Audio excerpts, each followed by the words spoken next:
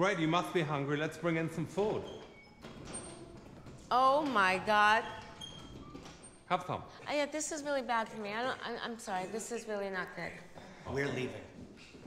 Come back, please. Can you please come back?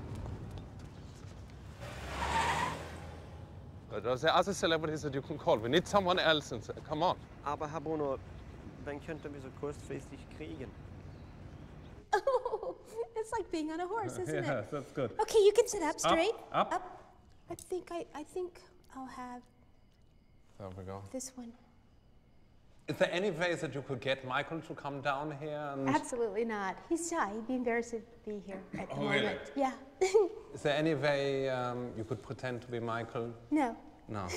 I mean, I can get you the jacket and the gloves. All you'd have to do is speak in a slightly higher voice. I think I'm good with doing what I'm doing right now. And this is the part of the show where it's called Show Me Your Schwarzberry. The blackberry? Yes. Okay. So let me have a look. Also, ah, super, so press here. Also Lutz, äh, Michael, das ist 310 555 3321. What are you saying? Wait, what are you saying? what are you No, saying? that's nothing.